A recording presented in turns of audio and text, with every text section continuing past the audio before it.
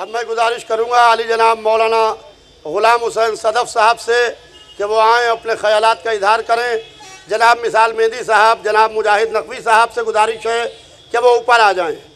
हाजरीन सलामुकुम हर साल आठवीं शव्वाल को हम यहाँ जमा होते हैं और अपने एहतजाज को दर्ज करते हैं उस जालिम हुकूमत के ख़िलाफ़ कि जिसने पूरी दुनिया में जुल्म और आतंकवाद को फैला रखा है। ज़ाहिर है कि जुल्म के ख़िलाफ़, आतंकवाद के ख़िलाफ़ टेररिज्म के ख़िलाफ़ दहशत गर्दी के ख़िलाफ़ हर उस शख्स को होना चाहिए कि जिसके अंदर इंसानियत पाई जाती है। जो इंसान है, उसको हमारे शाना बशाना खड़ा होना चाहिए। इसलिए कि इसमें ना मज़हब की क़ैद है, ना इसमें किसी मिल्लत की क़ैद है। ना किसी गरोह की क़ैद है। अगर आपके दिल में इंसानी मोहब्बत का जज्बा मौजन है तो आपको हमारे साथ इसलिए होना चाहिए कि ये वो ालिम हैं कि जो सिर्फ़ जिंदों पर जुल्म नहीं करते हैं, जो जेर कब्र हैं, उन पर भी इनके जुल्म की दास्तानें बहुत तारीख हैं, बहुत शदीद हैं। आप महसूस करें कि जन्नतुलबकी जिसको जन्नत मल्ला कहा गया जन्नतुलबकी के जो चौदह सदियों से उस अजीम कब्रस्तान की हैसियत रखता है कि जिसमें कभी साहबी रसूल उस्मान बिन मजून दफन हुए, जिसमें कभी शहजादी जनाब फ़ातिमा बिनते असद मदफून हुई, जिस सरज़मीन पर कभी पैगंबर को रोते देखा गया, कभी अली को मरसिया पढ़ते देखा गया, कभी एक बीबी के जनाजे में इमाम हसन, इमाम हुसैन और बीबी ज़ैनब उम कुलसूम को आहिस्ता आहिस्ता कदमों से आँसू बहाते हुए, चलते हुए देखा गया। ऐसी अजीम कब्रें, ऐसे मुक़दस मज़ार और इन दुश्मनान अहल बैत में जो असल में रसूल अल्लाह के दुश्मन हैं, उनके ख़ानदान के दुश्मन हैं, इन कबूर से बदला लेने की कोशिश की। ज़ाहिर है कि ज़िंदगी में ये किरदारों से न लड़ सके। किरदारों की आफाकियत ने इनके अजदाद के ालिम चेहरों को आया कर दिया।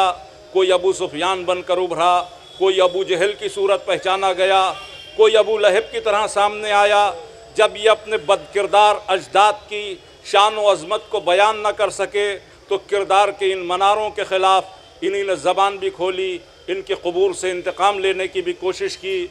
उसी इंतकाम की एक कड़ी थी कि जब 1926 में आठवीं शव्वाल को, उन मज़ारात मुक़दस को मुनहदम कर दिया गया कि जो बकी की सरजमीन पर थे जिसमें कहीं बीबी की कब्र थी, कहीं इमाम हसन सो रहे थे, उसी के पहलू में इमाम ज़ैनुलाब्दीन आराम फरमा रहे थे।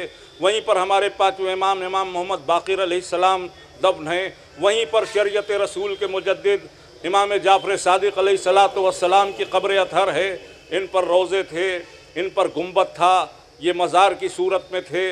लोग यहाँ दीन व दुनिया के तवसल के लिए आते थे। अपनी दिली मुरादों को इनके हवाले से अल्लाह से तलब करते थे, मुरादें पूरी होती थीं, ये इस्लाम दुश्मन, बल्कि ये वो मुनाफिक कि जिनके दिलों में कुफ्र की ऐसी सियाही है कि जो सूरज की रोशनी की किरणों को भी कबूल नहीं कर सकती। इन लोगों ने इन मज़ारात को ढा दिया और ढा देने के बाद आज तक तामीर का कोई सिलसिला नहीं है। हम चीख रहे हैं, हम एहतजाज कर रहे हैं, हम आवाज़ उठा रहे हैं, अपनी पूरी तोानाई के साथ हम इस बात के लिए बोल रहे हैं कि मज़ारात की तामीर होना चाहिए। एक सदी लगभग होने को आई। अभी तक हमारी आवाज़ का कोई असर उन पर नहीं हुआ। लोग ये समझ रहे हैं कि शायद ये आवाज़ें यूँ ही उठाई जा रही हैं। याद रखिए कि हमारी आवाज़ों से कबूर, तामीर हों या ना हों, लेकिन रोज़ मैशर हज़रत ज़हरा के हजूर हम सुरखरू ज़रूर होंगे कि बीबी आपके खानवादे पर और आपके कबूर पर जो मजालिम हुए, हम चुप नहीं बैठे। हमारी कमज़ोर आवाज़ थी, नहीं आवाज़ थी, मगर हम जालिम से डरे नहीं। हम सऊदी अरब की हुकूमत के ख़िलाफ़ डटे रहे, कल भी डटे थे, आज भी डटे हैं, और जब तक ज़िंदगी है, जब तक सांसों का तसलसल है, जब तक जान में जान है, हम जालिम सऊदी हुकूमत के ख़िलाफ़ आवाज़ उठाते रहेंगे। शाह सऊद मुर्दाबाद, आले सऊद मुर्दाबाद, दुश्मनान अहल बैत मुर्दाबाद, मज़ारात बकी को ढाने वाले मुर्दाबाद, उनके अजदाद मुर्दाबाद, उनके असलाफ मुर्दाबाद, उनके अखलाफ मुर्दाबाद, उनकी आने वाली नस्लों पर अल्लाह की बेशुमार लानत। आइए इन लानतों के साथ हम उन्हें सुबह शाम याद करते रहें। वाखिर दवान